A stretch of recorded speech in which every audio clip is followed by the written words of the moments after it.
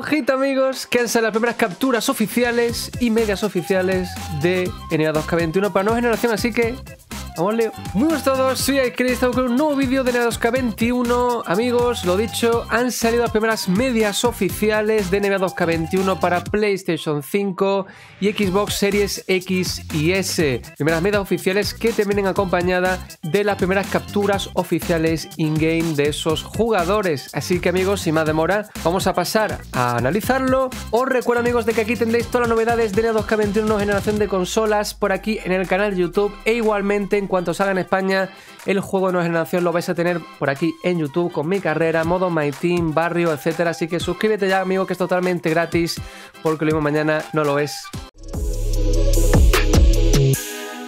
Comenzamos con los jugadores de portada de este NBA 2K 21. En esta ocasión vamos a hablar de Zion Williamson, que luce brutal, aunque evidentemente ya pues no es tal el impacto que nos puede dar, porque ya lo hemos visto muchísimas veces, ¿no? A Zion Williamson en la nueva generación de consola, porque ya lo pudimos ver en ese teaser trailer, luego en el trailer largo que tuvimos eh, con Luca Doncic, sobre todo protagonista, ¿no? Y también los Golden State Wars de Clay Thompson y Stephen Curry, que ahora veremos también sus medias y, y sus caras. Entonces no nos sorprende tanto nivel gráfico, porque ya no lo esperábamos así. Eh, lo que sí me sorprende es la media, ¿no? Media 86, me parece que la han subido demasiado a Zion Williamson, un Zion que venía, creo recordar, de tener 81-82 eh, de media eh, en su temporada rookie, temporada novato del año pasado. Creo que ha sido una subida demasiado alta para realmente la temporada que ha hecho, es decir, ha jugado muy pocos partidos, apenas ha llegado a jugar 30 partidos, ¿no? Como ya sabéis, entonces creo que es excesivo. Yo le hubiera puesto a lo mejor 83 como mucho, 84 incluso. Y aquí, amigos, es donde quiero que vosotros participéis, ¿vale? En los comentarios que me digáis, no solamente con Zion, sino con todos los jugadores que vamos a analizar ahora, que me digáis qué os parecen, ¿no? Tanto a nivel gráfico como a nivel de medias. Eh, ¿Qué os parece? Me gusta siempre, ya sabéis, entrar con vosotros en debate, un debate sano,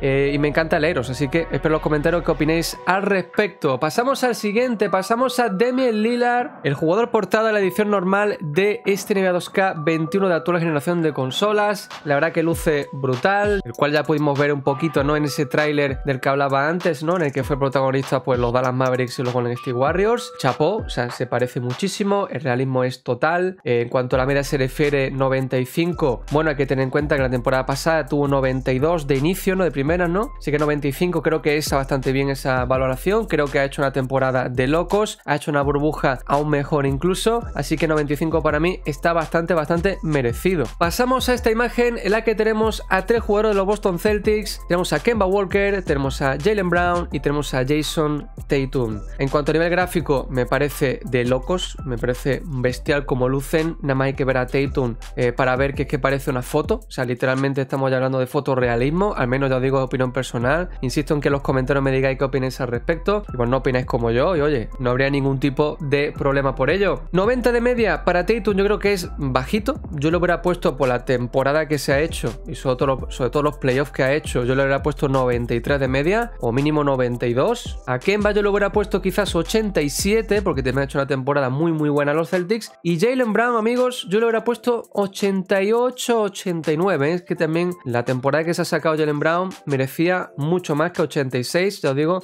al menos desde mi punto de vista, ¿no? Pasamos a Devin Booker, otro jugador que luce muy muy bestia, es una locura lo bien hecho que he representado que está. Eh, otra cosa que también quiero dejar claro, evidentemente, como estamos viendo en cada una de las fotos, en cada uno de los screenshots, es que realmente el modelado en 3D, por así decirlo, de los jugadores es idéntico a lo que ya tenemos en PlayStation 4 en prácticamente el 90% de los jugadores que hemos visto hasta el momento, ¿no? Y veremos ahora en adelante. La principal diferencia en el salto generacional es realmente la textura que se le acopla a ese modelado en 3D, ¿no? Que hace que luzca mucho mejor, evidentemente, eh, ayuda muchísimo el tema de la iluminación, que hace que el rostro y luego el tema de las texturas en el cuerpo, el vello facial, el pelo, eh, luzca de esta manera. Nada más tenéis que ver el pelo de Dane Booker como luce de bien. Una auténtica locura, vaya. Y en cuanto a la media se refiere 88, yo creo que es muy, muy bajo. O sea, Dane Booker tendría que tener mínimo, mínimo, mínimo 92 de media. Sin duda, hay que recordar su gran actuación en la burbuja, aparte de toda la temporada regular. Y luego hay que tener en cuenta que carrileó a los Phoenix Suns por completo en esos 10 partidos previos a playoff en la burbuja y que casi, casi hace que se metan en playoff. Necesitaba por lo menos tener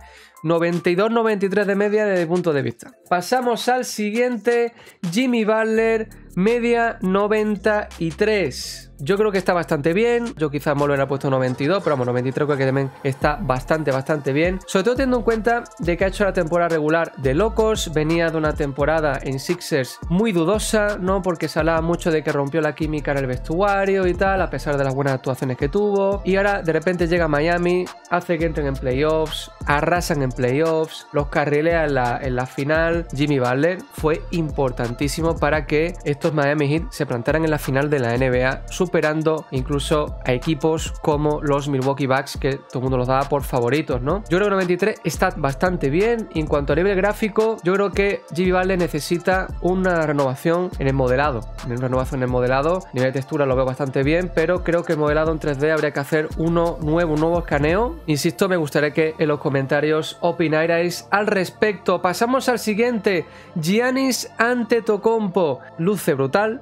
insisto, en el tema del vello facial, ¿eh? es una locura, el tema también del pelo, luce realmente muy muy bien con, con este sistema de iluminación, esa red, como ya pudimos ver los trailers, es de locos, por fin tenemos una red en 3D, ya la podemos ver en la foto, mide 97, creo que está bastante bien, o sea, bastante acertado, teniendo en cuenta de que ha conseguido su segundo MVP consecutivo, si es verdad que no lo hubiera puesto más, teniendo en cuenta sobre todo que en playoffs se esperaba mucho más de Milwaukee, mucho más de Antetokounmpo y fueron eliminados por los Miami Heat, que fue una gran sorpresa para mucha gente. Y ya os digo, yo esperaba mucho más de Antetokounmpo, así que 97 lo veo bastante bien. De hecho, supera la media que tenía año pasado, que era 96. Pasamos a Luka Doncic, media 94. Creo que está también bastante bien. Esta media, muy acertada. Ha hecho una temporada regular de auténticos locos. Y aquí nadie me puede decir lo contrario. Vaya temporada se ha sacado. Temporada prácticamente de MVP. Si no llega a estar por ahí, un tal LeBron James, un tal Antetokounmpo. Este señor ha sido una locura lo que ha hecho con Dallas Mavericks. En cuanto a gráficos se refiere, me parece brutal como luce Luka Doncic, luce muchísimo mejor que en PlayStation 4. El modelado, como podéis ver, es el mismo, el 3D es igual, simplemente que, simplemente, bueno, pues las luces y las nuevas texturas que dan la posibilidad en la nueva generación de consolas hace que luzca eh, brutal. Pasamos a el siguiente, pasamos a James Harden, media 96. Su media era también 96 en 2K20, creo que está bastante bien, bastante acertado. Quizás se esperaba mucho de James Harden esta temporada y bueno, los Houston Rockets volvieron a fracasar, ¿no? Uno de esos grandes motivos por lo que, eh, bueno, pues su general manager eh, se ha marchado de la franquicia de los Rockets. En cuanto a gráficos, oye, chapó.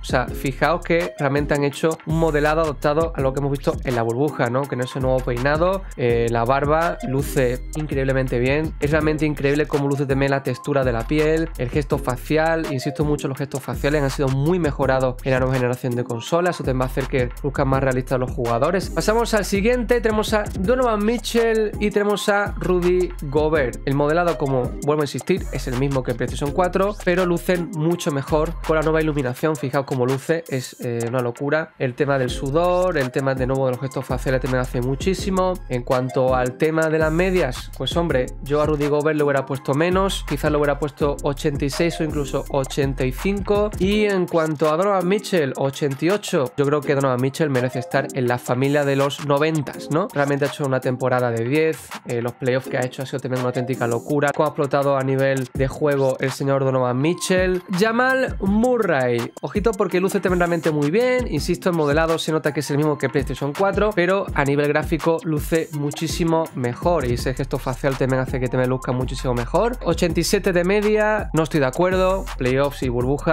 de locos lo que ha hecho en Orlando este señor temporada de 10, o sea, mínimo tiene que tener 90. Pasamos a Kevin Durant y a Kyrie Irving, ambos jugadores de Brooklyn Nets, aún evidentemente no hemos podido ver debutar a Kevin Durant. Yo sinceramente creo que para Kevin Durant la media está bastante inflada, la media que tenía el año pasado en el 2K20 era de 96, la han bajado un puntito, yo quizá lo hubiera bajado algunos puntos más, quizá lo hubiera puesto 92 o 93 y mucho diréis ¿por qué? Si no ha jugado, pues precisamente por eso, porque viene de una lesión muy grave y creo que de, primeras eh, ponerle prácticamente la misma media es un error. Ya sabéis que luego las medias, eso tenéis que dejarlo claro, las medias simplemente son orientativas. Al arrancar el juego vas a tener esta media, pero luego se van a ir actualizando a diario con respecto a las actuaciones reales. Eh, Kevin Durant, vamos a ver cómo vuelve, es una lesión muy grave la que ha tenido, una lesión que suele acabar con las carreras NBA de muchísimos jugadores, sobre todo jugadores altos, y Kevin Durant precisamente no es bajito. En cuanto a Kyrie Irving, 90 lo veo bastante justo, lo poco que se le ha visto en Brooklyn jugando con las lesiones de por medio es una locura, pero ojalá se recuperen ambos al 100% y lo veamos ahí jugar juntos eh, de la mejor manera posible, ¿no? Para dar un poquito más de espectáculo y más show en la NBA, que es lo que queremos, que jueguen todos y gane el mejor. Pasamos a la gran pareja, a los Splash Brothers de los Golden State Warriors, Clay Thompson y Stephen Curry. En cuanto a nivel gráfico, evidentemente el salto es brutal. Sí es verdad que ya no nos impacta tanto porque ya lo hemos visto en el tráiler, sé que tanto hemos hablado ya en el vídeo. En cuanto a medias, bueno, 95 y 89,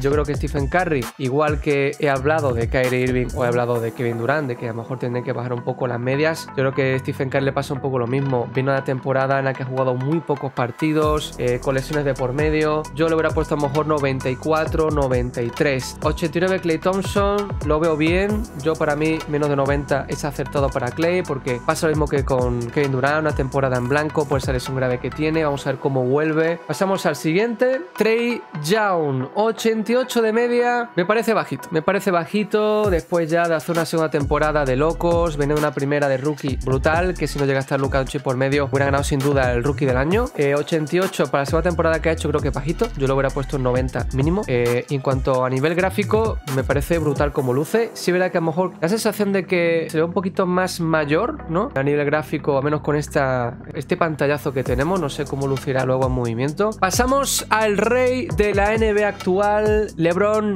James. 98 de media, me parece acertadísimo. Viene a hacer una temporada de auténticos locos. Se puede llevar prácticamente el MVP si no llega a ser por la temporada que ha hecho también ante Tocompo y su Milwaukee Bucks. 98 de media me parece perfecto porque viene de ser el MVP de las finales, ¿no? Una locura lo que ha hecho LeBron James este año. 98 me parece acertadísimo. Jugador muy completo, con un IQ basketball de locos. En cuanto a gráfico, pues el modelado es el mismo que en PlayStation 4, eh, pero luce muchísimo mejor en PlayStation 5. De nuevo insisto por esa iluminación nueva, eh, cómo luce el relieve de la frente, o cómo se ven esas estrías, o cómo lucen incluso los tatuajes, ¿no? Que sois muchísimos los que comentabais de que la actual generación de consola los tatuajes pasaban desapercibidos, ¿no? No se le veía mucho la tinta. Pasamos a Marc Gasol de los Toronto Raptors, 77 de media Marc Gasol. Yo creo que, bueno, igual está bastante bien. Yo lo hubiera puesto a lo mejor 78, incluso 79. Viene a hacer temporada en el que ya se va notando los años, que pesan los pies, pesa ya la edad. Gráficamente luce bastante mucho mejor que en PlayStation 4. El modelado es el mismo, insisto en este sentido, pero luce mucho mejor el pelo, la barba.